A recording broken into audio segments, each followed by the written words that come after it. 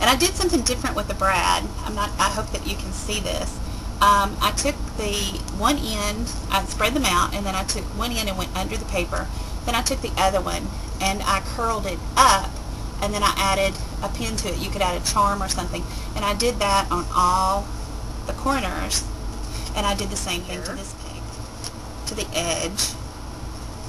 And I put the ribbon through where I curled the uh, brad. And I curled it at both sides.